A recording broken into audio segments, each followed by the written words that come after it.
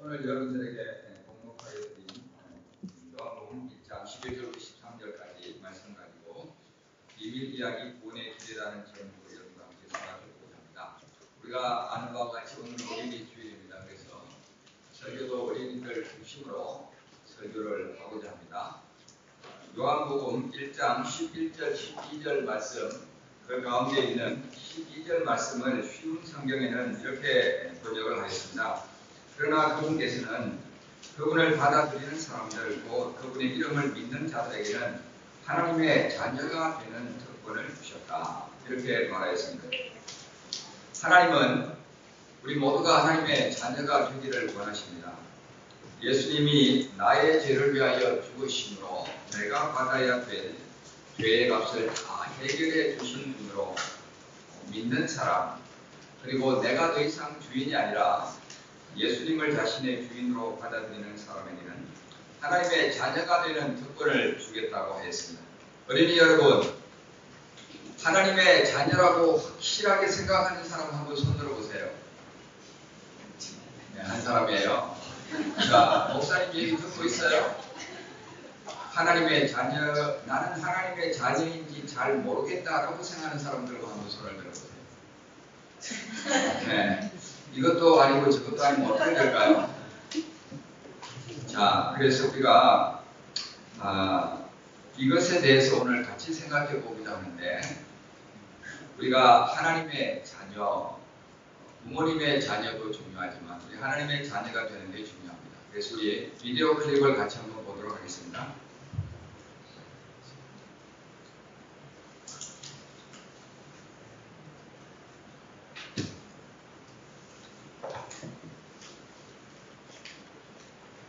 자, 이 비디오 클립에 어떻게 하면 우리가 하나님의 자녀가 될 수 있는지가 잘 설명이 되어 있어요. 눈을 반짝반짝하고 좀 잘 보세요.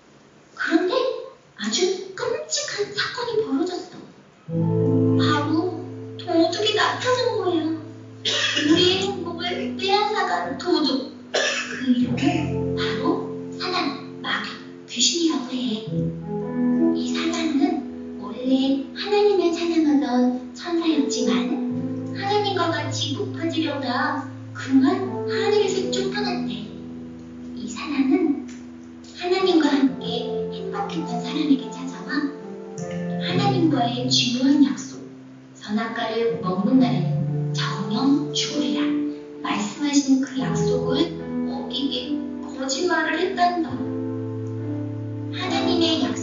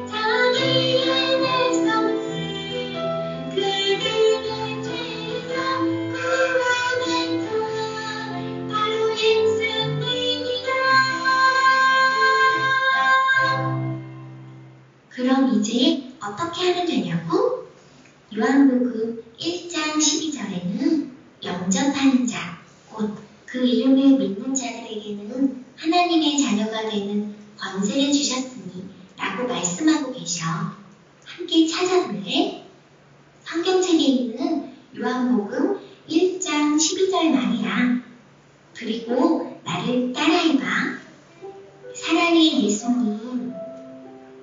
저는 하나님 떠난 죄인이었습니다. 그렇지만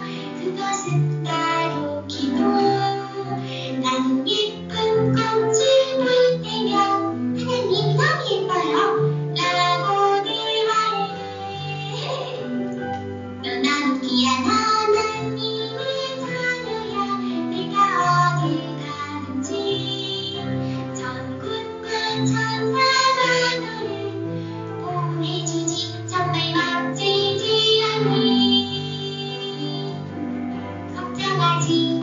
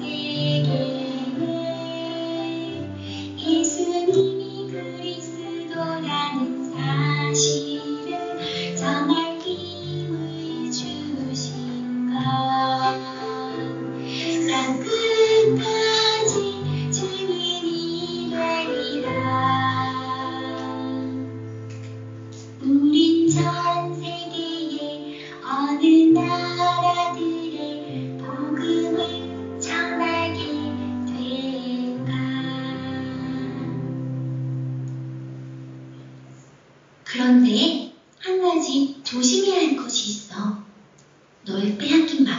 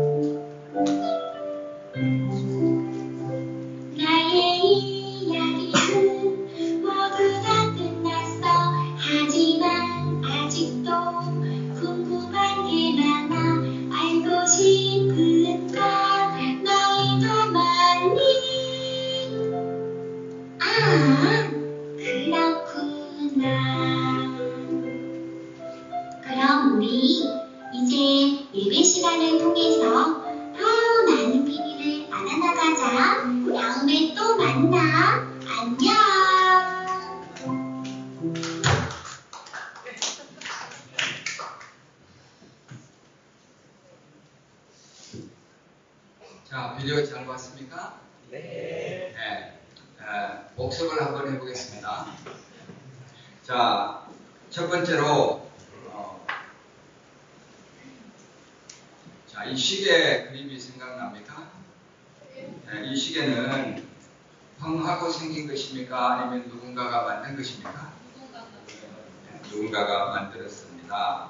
네, 그래서 그것처럼 우주도 지구도 어, 사람도 누군가가 만들었습니다. 그분이 누구일까요? 하나님입니다. 세상 만물을 만드신 분은 하나님이십니다. 우리가 성경 말씀에 보면 우리 시계 그 간단한 것 같지만 그 뒤에 보면 저렇게 복잡한 기계들이 많이 있어요. 저거 누가 만들지 않고는 펑 하고 생길 수가 없는 거죠. 그런 것처럼 아, 히브리서 3장 4절 성경 말씀에 보면 이렇게 얘기했습니다. 아, 모든 집마다 그 집을 지은 사람이 있듯이 온 세상 만물을 지으신 분이 계시는데 그분은 곧 하나님이십니다. 라고 말했습니다. 우리 아까 보았을 때의 토끼, 병아리, 호랑이, 뱀, 꽃과 나무도 다 하나님이 지으신 것이라고 했습니다. 그래서 하나님은 나무는 땅 속에 뿌리를 내려라, 물고기는 물 속에서 헤엄을 치라, 새야 저 하늘을 날아라. 이렇게 하나님께서 어, 천지를 만들었어요. 그리고 사람아 너는 나와 함께 있자. 이렇게 하나님이 말씀을 했습니다. 자, 이렇게 하나님이 만드셨는데 사람은 아기가 엄마 품을 떠나면 살아갈 수 있을까요? 없을까요? 살아갈 수가 없어요. 그런 것처럼 사람은 하나님을 떠나면 살아갈 수 없게 지어졌어요. 그래서 우리가 하나님 품에 있으면 뭐를 하든 즐겁고 행복합니다. 자, 그런데 문제가 찾아왔다고 해서 무슨 문제일까요? 무슨 문제? 네. 네, 도둑이 나타났어요. 우리 행복을 빼앗아가는 도둑. 그 도둑 이름은 무엇일까요? 사탄이라고도 하고 마귀라고도 합니다. 원래 이 사탄은 하나님을 경배하도록 지원받은 천사였는데 그 하나님보다 높아지려고 하나님과 같이 높아지려고 하다가 그만 하늘에서 쫓겨났습니다. 이 사탄은 하나님과 함께 행복했던 사람들을 찾아와서 하나님과 약속을 어기게 만들었어요. 무슨 약속일까요? 저 선악과를 따먹으면 안 된다. 그러면 죽는다. 라고 말하였는데 그것을 먹어도 괜찮다라고 거짓말을 하여서 사람들이 하나님과 약속을 어기게 하였어요. 자, 그때부터 사람들에게는 문제가 찾아왔는데 그 문제를 뭐라고 부르죠? 네, 그 문제는 죄라고 부른다고 했습니다. 죄에 빠진 사람들은 부모를 잃은 고아처럼 외롭고 힘들게 되었습니다. 자, 여기에 있는 것처럼 아름다운 옷을 입어도 맛있는 음식을 먹어도 책을 많이 읽어도 외로움은 없어지지 않는다고 했습니다. 죄 때문에 하나님을 떠난 문제 때문에 하나님은 아, 사람들은 모든 행복을 빼앗기게 되었습니다. 자, 죄를 지으면 왜 이렇게 행복하지 않을까요? 아, 그 죄는 우리가 죄를 지으면 양심의 가책을 받게 되어 있습니다. 아, 무엇인가 우리 마음에 불안하게 하고 그 죄가 우리를 계속 찌르고 있습니다. 그래서 마음이 행복하지 않아요. 또 죄를 지으면 관계가 깨뜨려져요. 옆에 있는 친구가 미워지고 보기 싫고 한 대 때려주고 싶고 이런 문제들이 생깁니다. 그래서 이런 문제들을 가리켜서 성경에 마가복음 7장 21절부터 23절까지 보면 사람들의 마음에서부터 악한 생각이 나오는데 음행, 도둑질, 살인, 간음, 탐욕, 악독, 속임수 이런 모든 악이 다 속에서 나와서 사람을 더럽게 한다고 했습니다. 자, 우리가 만약에 친구의 장난감을 몰래 가지고 온다면 그건 뭘까요? 네, 여기 나와 있는 도둑질이에요. 다른 사람의 책을 빌려다가 갖다 주지 않으면 어떻게 될까요? 그것도 남의 물건을 도둑질하는 것입니다. 그리고 친구가 아주 미워진 적이 있는 사람. 네, 그런 적이 있죠. 네. 근데 이 친구가 아주 미운데, 그럼 어떻게 합니까? 한 대 때려주고 싶죠. 어린일 때는 한 대 때려도 문제가 안 되는데, 어른이 돼서 한 대 때리다가는 사람을 죽일 수 있어요. 그게 뭘까요? 여기 나오는 살인이에요. 자, 만약에 게임을 하고 있다가 엄마가 오면 얼른 감추고 너 뭐 하고 있었니? 그러면 너 게임 하고 있었지? 라고 엄마가 물으면 뭐라고 대답할까요? 아니에요 엄마 나 공부하고 있었어요. 그건 뭘까요? 네, 그거는 바로 여기 있는 속임이에요, 속임. 자, 친구의 잘못을 이 사람 저 사람에게 자꾸 퍼뜨리게 되는 것은 그건 뭘까요? 네, 잘하네요. 비반. 그러니까 이런 것은 어린이라고 하더라도 우리 마음속에 다 있는 거예요. 그러면 이런 것이 속에서부터 나와서 사람을 더럽힌다. 그래서 우리를 나쁘게 만들고 악하게 만드는 것이 바로 이런 마음에 우리 마음속에 들어있는 죄다라고 하나님은 말하고 있는 것이에요. 그래서 저와 여러분 속에는 다 죄가 있습니다. 어린 아이든 어른이든 어, 죄가 있습니다. 이걸 극복하려고 노력하는데 착하게 살려고 노력하면 할수록 우리가 발견하는 것은 이거는 불가능이다. 왜냐하면 자연인으로서 저와 여러분의 마음속에 가득 차 있는 것이 이런 악한 생각이 들어있기 때문에 그렇습니다. 그런데 죄를 지으면 어떻게 될까요? 죄에 대해서는 벌이 있게 되어 있어요. 벌이 따라와요. 형벌이 있게 되어 있습니다. 그래서 성경 말씀에 히브리서 9장 27절 쉬운 성경에 보면 사람은 누구나 한 번 죽게 되어 있고 죽은 다음에 심판이 있다 이렇게 얘기합니다. 또 로마서 6장 23절에 보면 죄의 대가는 오직 죽음입니다. 그러나 하나님께서 거저 주시는 선물은 우리 주 예수 그리스도 안에 있는 영생입니다. 바로 이 죽음은 우리가 생명이 끝나는 죽음이 아니라 영원히 하나님과 분리되는 지옥에 가는 죽음을 말하고 있습니다. 자, 이게 우리 사람의 운명이다라고 말하고 있어요. 그런데 하나님 우리에게 해결책을 제시해 줬다고 했습니다. 그 해답이 뭐라고 그랬습니까? 그 해답은 바로 예수 그리스도다. 그렇게 얘기를 하였습니다. 사람들이 자기 문제를 해결하지 못할 것을 하나님이 아시고 하나님께서 예수님을 이 땅에 보내줬습니다. 예수님이라는 이름의 뜻이 무엇이라고 그랬죠? 자기 백성을 그들의 죄에서 구원할 자. 그게 바로 예수님의 이름의 뜻입니다. 그래서 예수님이 이 땅에 오셔서 한 일은 고린도전서 15장 3, 4절에 잘 기록이 되어 있습니다. 거기 보면 예수님께서 성경대로 우리 죄를 위하여 죽으시고 무덤에 묻히셨다가 성경대로 제3일에 살리심을 받았다라고 기록을 하고 있습니다. 예수님이 우리 죄를 위해서 우리가 받아야 될 심판과 형벌을 여기에서 대신 받아준 것입니다. 예수님은 자신의 죄가 있어서 십자가에서 이렇게 죽은 것이 아니라 우리 죄를 위하여서 예수님이 죽어주신 것입니다. 그러면 예수님이 나의 죄를 위하여 죽어주셨다는 것은 무엇일까요? 그 죄 때문에 받아야 될 심판과 형벌도 예수님이 이미 받아줬어요.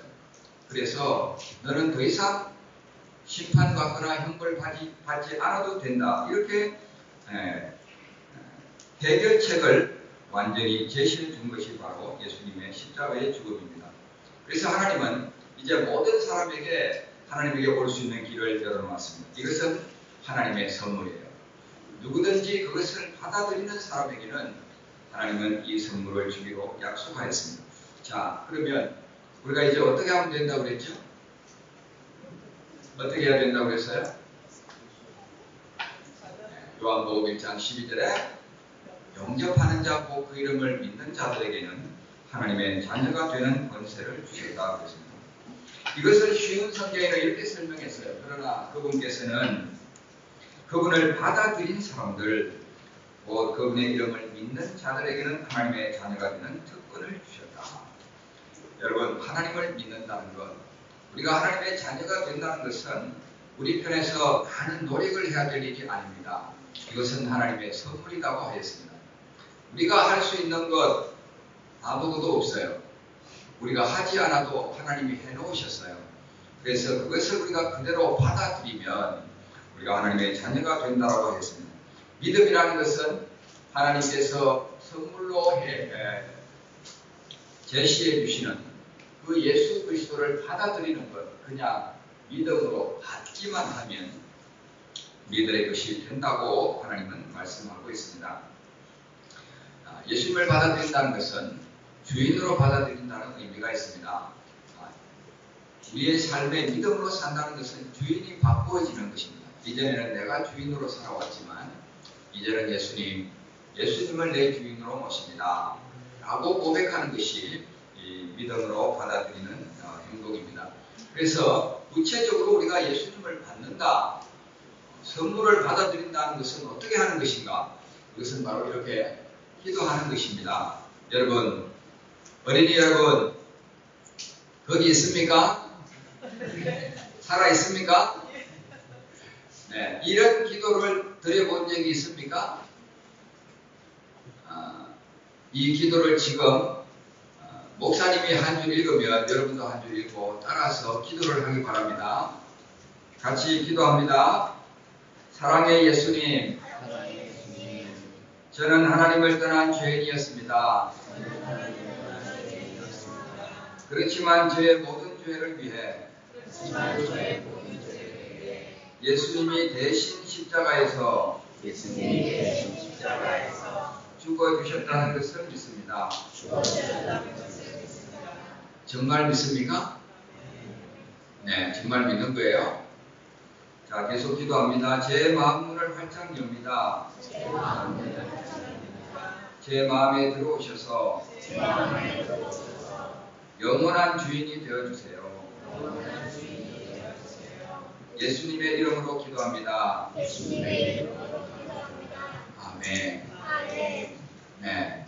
자, 그러면 예수님을 믿은 사람들은 어떤 축복이 있을까요?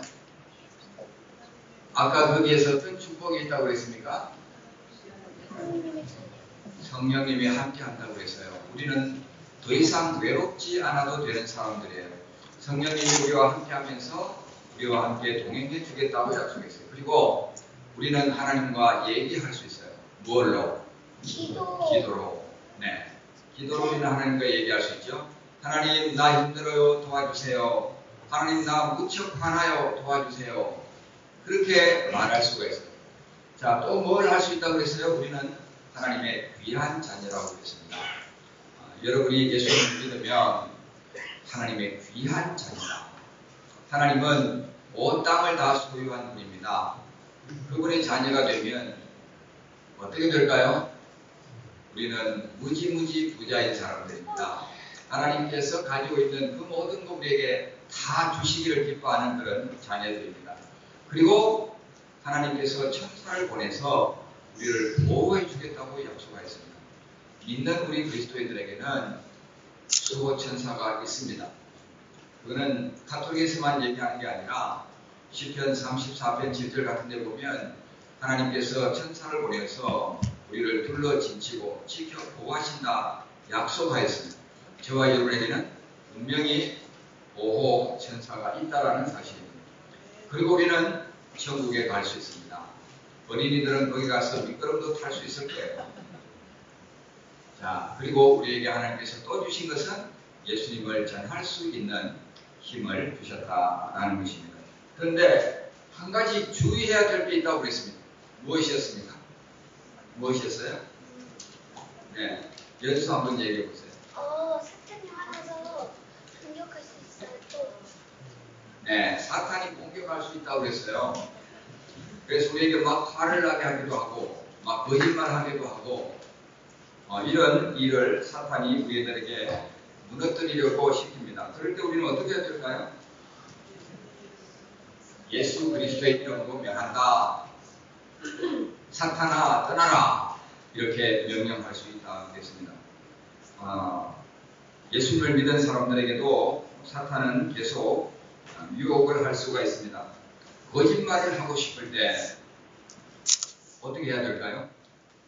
하나님은 참된 것을 말하라고 했다. 사탄아 물러가라. 이렇게 말할 수 있어야 돼요. 그리고 남의 것을 가지고 싶을 때는 어떻게 해야 될까요? 하나님은 이웃의 것을 탐내지 말라고 했다. 사탄아 물러가라. 이렇게 말할 수 있습니다. 화가 날 때는 어떻게 할 수 있을까요? 참는 것이 지혜라고 했다. 사탄아 물러가라. 여러분, 예수님이 사탄을 대적할 때에 하나님의 진리의 말씀을 사용했습니다. 우리가 자꾸 질 때는 거기에 거짓말에 속고 있기 때문에 그렇습니다. 무엇인가 내가 정당화시키는 거짓말. 나는 상대방에게 화낼 수 있는 권리가 있어. 라고 생각하는 그 거짓말. 그런 것 때문에 우리는 자꾸 지게 되어 있습니다. 그럴 때 하나님의 진리를 찾아야 됩니다. 하나님은 참을 말하라고 했다. 사랑 안에서 사탄아 물러가라 이렇게 거절을 해야 됩니다. 우리가 이렇게 하면 하나님께서 우리에게 승리하게 해주시는 것을 경험하게 되십니다. 아, 사랑하는 어린이 여러분, 예수님을 믿고 하나님의 자녀가 되어서 이 땅에서 정말 행복한 삶을 살아가기를 또 사랑하는 성도 여러분, 우리의 행복의 근원은 예수님의 그 어, 우리를 구원하여 주신 그 은혜를 받아들이는 데서부터 시작한다는 사실을 기억하시고 예수님을 정말 구주로 인정하고 그리고 그분을 주인으로 어, 바꾸어서 내 삶을 주관하는 게 내가 아니라 주님이 나를 주관하는 그런 주님이 되게 모셔드림으로써 여러분의 삶 가운데 하나님의 자녀된 특권이 날마다 날마다 더 많이 경험되시기를 우리 주님의 이름으로 축복합니다. 기도하겠습니다. 하나님 아버지 오늘 감사합니다. 이 시간 우리가 아, 비밀 이야기를 함께 생각해 보았습니다. 세상에서 들을 수 없는 비밀 이야기입니다. 그러나 그 가운데 참 놀라운 지혜가 담겨 있고 놀라운 풍성함이 담겨져 있는 이야기였습니다. 우리 어린이들에게 하나님께서 그 마음을 열어서 예수님을 받아들였는데 하나님 아버지 이 예수님과 더불어 하나님의 자녀된 특권이 무엇인지를 자라가며 자라가며 더 많이 깨달아 갈 수 있도록 도와주시고 함께한 우리 성도들에게도 하나님 아버지 주님의 은혜가 임하고 임하여서 예수님을 믿는 그 믿음부터 시작하여서 하나님 이 믿음이 더 자라가며 하나님 아버지 생명 얻은 그 삶이 풍성함으로 자라가서 이 땅의 삶이 행복하고 풍성한 삶이 되게 하여 주옵소서 예수님의 이름으로 감사하며 기도합니다. 찬송가 563장을 같이 보겠습니다.